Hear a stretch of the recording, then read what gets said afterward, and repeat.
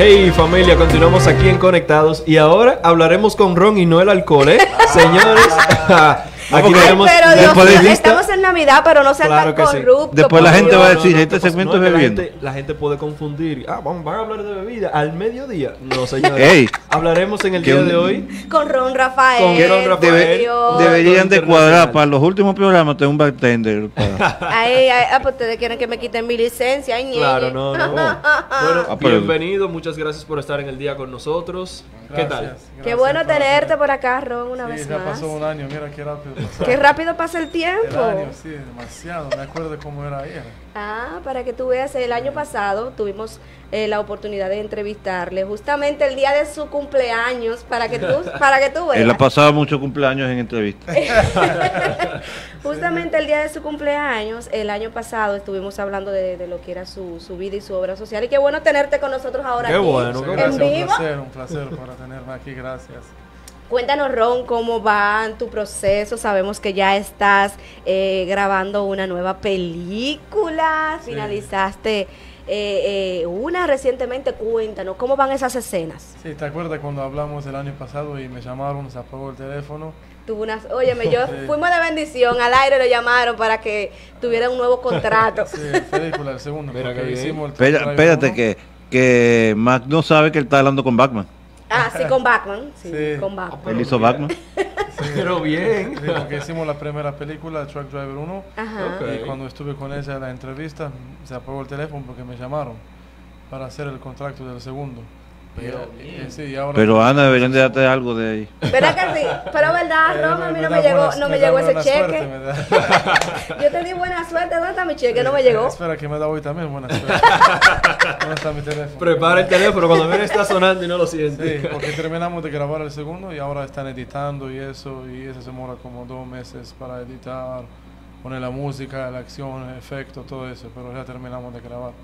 Ahí te Ah, veo, te veo a ti como que muy activo Sí. eh, eh, eh, en las actividades también. No, y en las redes sociales estamos stalkeando, como fuego, dicen, fuego. pero sí. Sí, te- también me eh, hizo un, yo soy presentador del fashion show del Miss de Estados Unidos, el Fashion Global. Así y- también pudimos ver eso. Sí, claro y- que y- sí. Y yo gané un premio, el me- mejor host del año. el ¿Cómo? Wow, pero Pues tú no estás bien. fácil, felicidades. Felicidades, qué bueno. Sí, me dieron el premio, aquí lo tengo conmigo. Te lo tenía, ah, te lo tenía calladito, No, ¿eh? pero mira, mira, Ay, el pero señores. felicidades, de verdad que sí, qué bueno, que es un logro más para ti. No. No, no, ese apellido tuyo yo nunca lo he podido mencionar. No, señores, hay que decirlo en 2022. Dale, Max, tú que eres el bilingüe aquí. No, ese, ese no es en inglés, es is- israelí. Ron Rafael. Chinchi, chi, chinchi. ¿Cómo es? Exactamente. Oh. Así mismo. Estuvo cerca, ¿no? Muchas felicidades y bien merecido Gracias. también. Claro que sí. Y lo- quien lo dude lo puede notar en sus redes sociales. Hay que decirlo, señores. Una red social cargada de información y, y realmente muy activa, ¿eh? Sí, y yo no sabía que voy a ganar esto porque había mucha gente buenos ahí y los jueces decidieron, todos votaron y lo gané. Ah, El- fue a, a votaciones. Sí, Muy bien. Los Oh, qué jueces, chulo. los dueños, los encargadores, todos votaron. Sí. Qué bueno. ¿Y cómo van las actividades para este año? Porque yo te veo que tú estás muy, muy, muy entretenido. Me monto de un avión y me bajo de otro. Cuéntame. Sí, vi- viajo mucho porque ahora el mismo señor que me dio el contrato del año pasado, hace como tres meses me dio un contrato. Estamos haciendo una película, pero de cartoon. ¿Cómo, Ok. cómo dicen en español? Cartoon? Eso es de muñequitos. De caricaturas. Sí, de entonces caricaturas. sí, están actuando y todo, pero es solo el voz. Entonces la voz mío, hago el voiceover ahí. Ok. Sí, para los niños, así, una película de una hora y media. Y yo soy el carácter ahí. ¿Y, y qué se siente bien. tú eh, pasar de la acción a la caricatura para, para Sí. convertirte en lo que es la parte de, de voz cosa en que, off? que no tengo mucho que trabajar ahí como en actuación de verdad, porque tenemos que correr, caminar, saltar. ok. Allá es solo el audífono y un Y- y micrófono. grabar. Sí, pero ahí cansa más porque te mandan a repetir varias veces. Sí, Dale nuevo. mil veces, Vamos sí. nuevo. ¿Por qué, es no, mucho porque no mejor- me ha salido la voz para hablar con este muñequito? ¿Qué es lo que está diciendo? Es mucho mejor si supieras el boss and off porque independientemente se evita el tema de lo que es el disfraz, eh, la ropa, todo, todo eso, el maquillaje, la producción general y hacerlo de manera digital, por así Sí. decirlo, es mucho más, factible. Pero yo creo que para ti te gusta más eso. Chamo, muéstrale a, a Ron que nosotros tenemos ahí. ¿Qué, no- qué nos guardó la producción para él? A ver. Yo creo que a ti te gusta más eso, ese tipo de acción. ¿Tú crees que le gusta más este tipo de películas?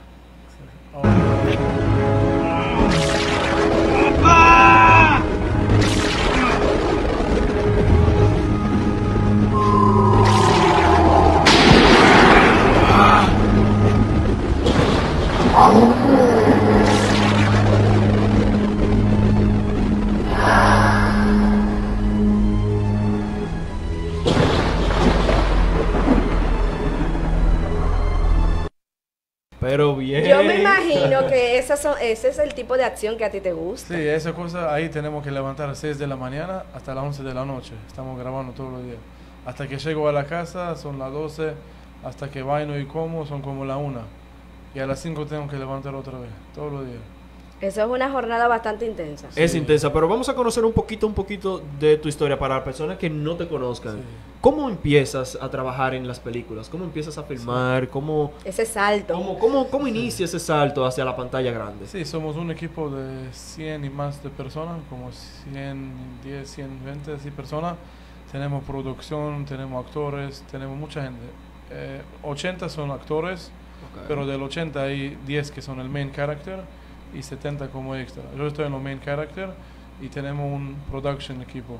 Entonces tenemos que despertar en la mañana e ir. Cada actor tiene su diferente horario. Ok. ¿Entiendes? No todos van a venir juntos, imagínate, 120 personas. Demasiada Al mismo tiempo, Sí. sí. Entonces, desde las 6 de la mañana hasta las 11. Pero nosotros, como el que estamos el main character, tenemos que estar ahí todo el día. Desde las 6 hasta las 11. Wow, wow. No, ¿Y a que- qué edad tú in- iniciaste la actuación? Al 17, sí. Wow. ¿Y cómo se llamó tu primera película? ¿El primero? Ajá. The Detective Story, sí. Háblanos un poquito de ella. Sí. Sí, es- esa película primero me enseñaron, mira, seis meses grabando y yo estuve feliz que por fin va a salir la película, por fin. Fui para verlo en el cine y solo me enseñaron por tres segundos. Wow. Y yo me enojé. Pero saliste. No, pero fue dio el inicio para Yo que conozco gente, yo conozco gente que dura todo el día, desde las 6 de la mañana hasta las 6 de la mañana del día siguiente en grabación y cortan la, parte de él. ¿Tú ¿No te sentiste? ¿no sentiste quizás nostalgia de pensar, Sí, wow, tanto más". tiempo de, Sí. de grabación para que me puedas mostrar solamente tres segundos? Sí, No te dijo, wow, ya yo no voy a hacer esto. sí, ese que dije, pero mi mamá me empujó, me dijo, mira, Ah, tú bien. tienes que seguir. El roble de la casa, Sí, como debe de porque ser. nada pasa el primero vez, tiene que seguir. Bien. Entonces yo seguí otra vez, hicimos otra película, se llama The Crackhead, entonces hicimos ese por también cuatro o cinco meses grabando.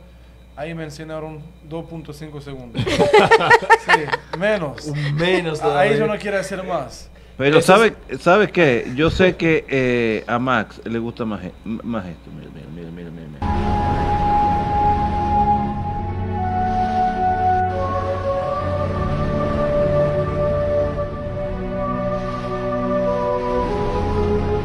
¿Qué película? ¿Cómo se llama esta película? The Truck Driver. Ah. Sí, Ahí ella, ¿qué, qué, te- qué le pasaba a ella en ese momento? Ella estaba en el truck, en el camión, y el camión se entró en el mar y explotó. Y ella se ahogó, entonces fui allá para salvarle a ella. Y ahí se terminó el primero película y ahora estamos grabando el segundo, pero terminamos el segundo y están editando. Ah, Pero bien, ¿Hay bien. posibilidad entonces de alguna tercera parte, por así Ojalá, decirlo? ojalá. y el guapo. Claro. Mira, te están llamando ya para la tercera Sí. parte. Pues una, es una saga.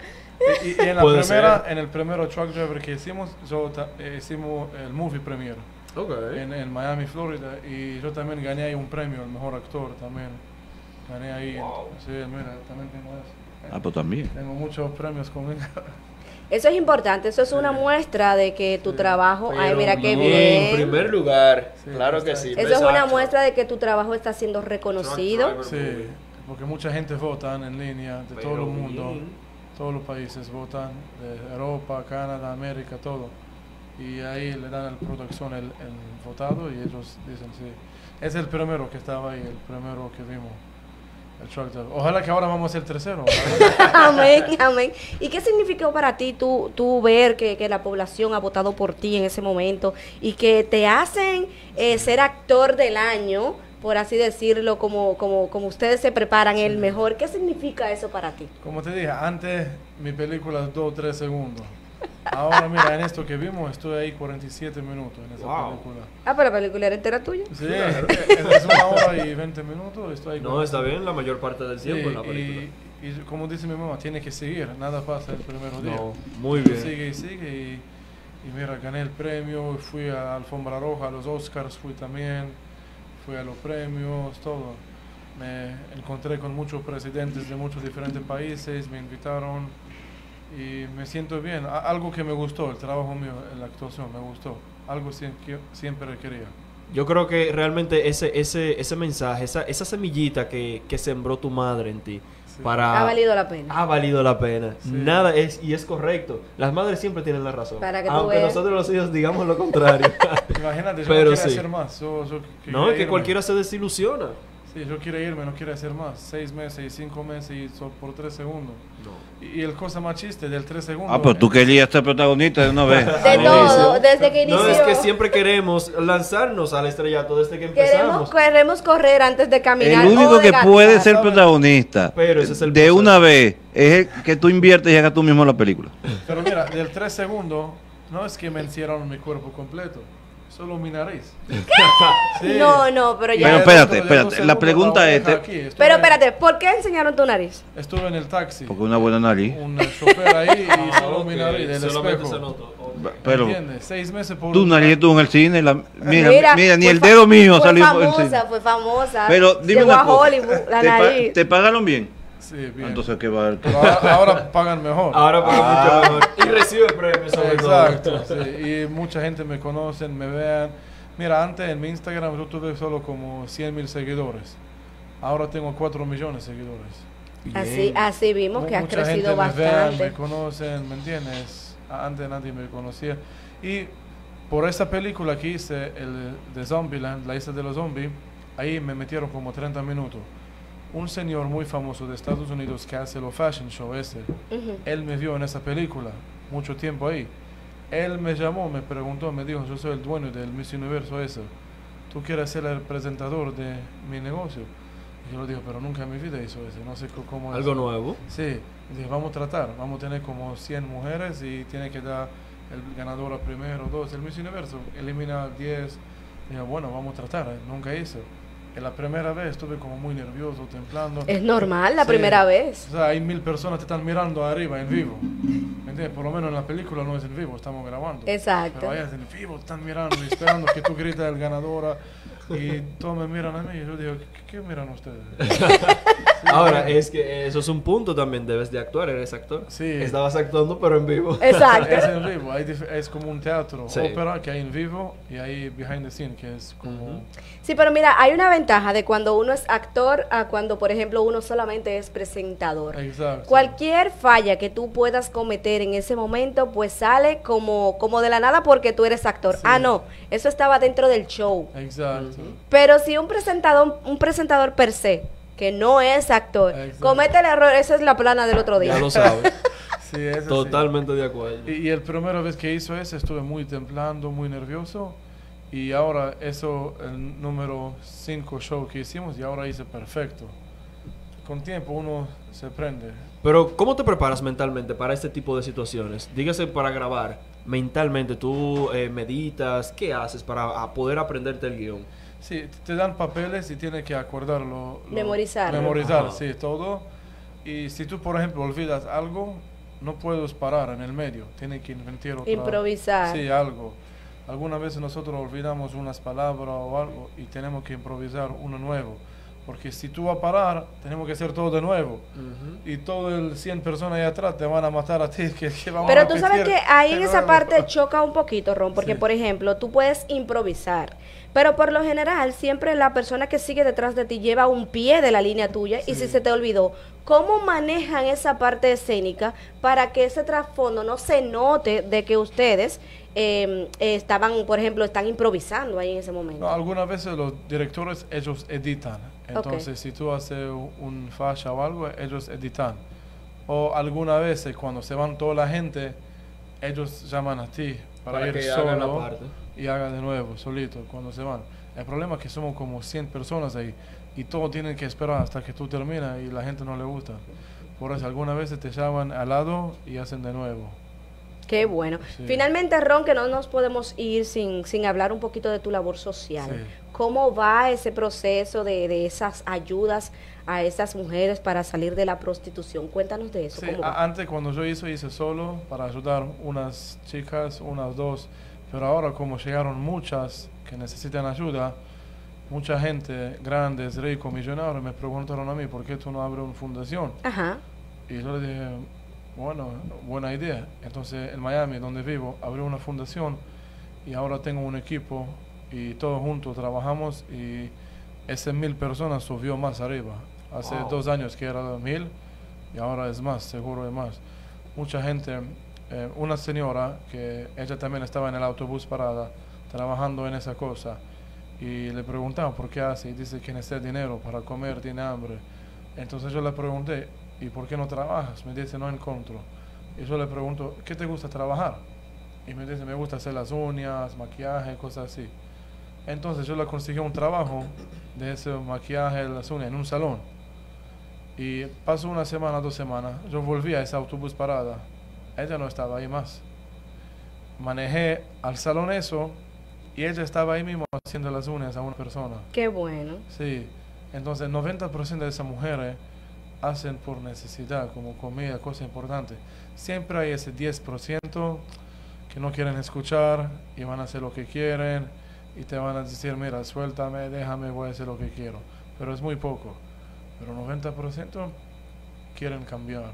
Qué bueno, Sí. qué bueno que se esté llevando a cabo este tipo de acciones y que no solo también lo puedas eh, eh, traer hasta la propia nación, hasta la República Dominicana, si, si así eh, eh, se requiere también, porque es un apoyo a lo que es la parte femenina que en muchas ocasiones tiene que, bueno, dejar de hacer lo que quizás lo que quiere para poder buscar el sustento en muchas ocasiones de su familia. Eso es así. Sí, lo- los demás eh, mujeres que tenemos, de ese mil y más, eh, el número uno país es aquí. República Dominicana. Es más de 400 y algo, sí. Wow. Qué bien. ¿Y todas esas personas eh, están, trabajan en la zona de, de Miami o fueron eh, llevadas hacia Son allá? Países diferentes. Tenemos un- una persona en Un cada, centro de acopio. Sí, en cada lugar. Ahora, tenemos que hacer también investigaciones porque mucha gente miente. Claro. Dicen cosas, pero no es verdad. Al final viven en una mansión. ¿Me entiendes? y, y el problema más grande que tenemos que muchos hombres hacen cuentas falsas de mujeres. Exacto. Ponen fotos y ese. Para, Y- para poder tener eh, Sí. beneficios. Beneficio. Y, y antes esos hombres eran de un país que se llama Nigeria. Ajá. Pero ahora 80% son de este país aquí, esos hombres, que hacen esas cuentas falsas.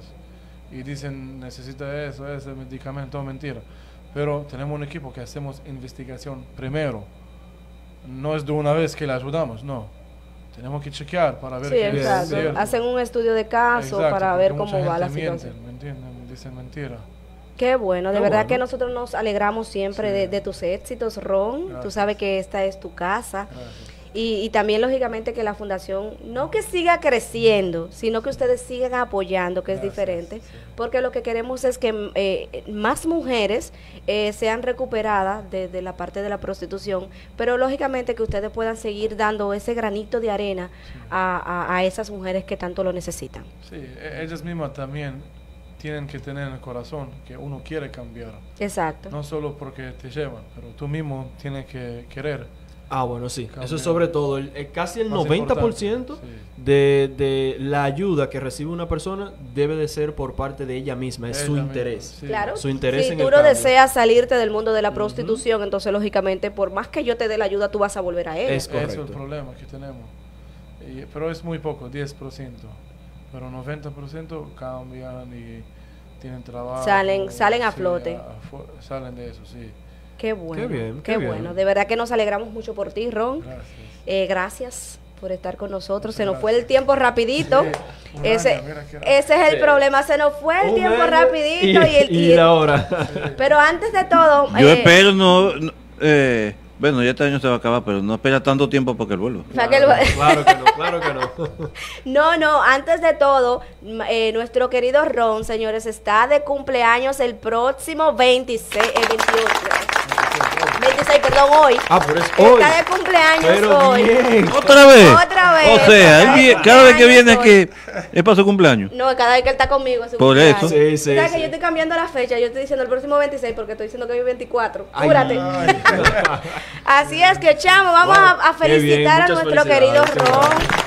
Eh, de verdad que vamos a, a felicitarte, a desearte muchos éxitos, muchas bendiciones, porque, porque Mm. este año más de vida que tú estás cumpliendo con nosotros será de mucho más bendiciones para tu vida. Porque ya Amén, ese es el, segundo que celebras con nosotros. Él le gusta celebrar el cumpleaños contigo. ¿Eh? Él le gusta celebrar el cumpleaños contigo. ¿Verdad que sí? Sí. Es que le trae- Ana le trae suerte. Cuidado si me meten en problemas después. No creo. Ana le trae suerte. No sé del lado de él, pero del tuyo no creo. No, de verdad que sí, eh, Ron, muchísimas felicidades, que la pases súper bien, que hagas de todo, pero que sea sano, ¿oíste? Eso es sano. Que sea sano. Así es que familia Ron, gracias de verdad por estar con nosotros. A ustedes familia también muchísimas gracias por estar en sintonía.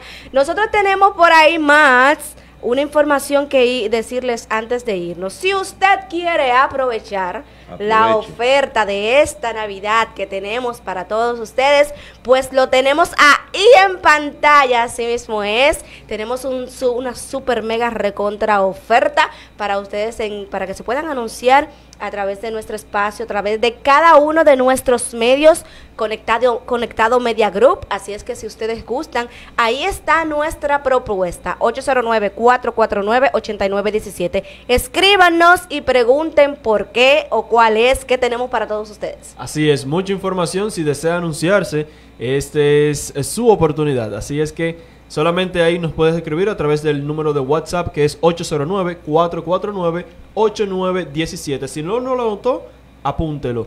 809 449-8917. Así Recuerden es. familia también que estamos recibiendo donativos para nuestra, nuestra acción de amor de cada año. Tenemos nuestro evento el próximo 18 de febrero con- de diciembre con el favor de Papá Dios y de cada uno de ustedes. Así es que esperamos que se sigan sumando, que, que nos permitan poder llegar a esos corazones con esos niños, que le podamos realizar su cenita de Navidad y que lógicamente podamos eh, llevarle ese juguetito para que ten- estén feliz en esta Navidad y Claro que Reyes. sí. Contamos con el apoyo de todos ustedes. Y recuerden también que estamos a ley de un clic en www.conectadonews.com para que tengan información ética. y verás. Así es que nos vemos Señores, la próxima semana. Ron, Hasta, hasta el próximo sábado. Ron, gracias. muchas gracias por estar con nosotros Gracias. en el día de hoy. Bendiciones familia.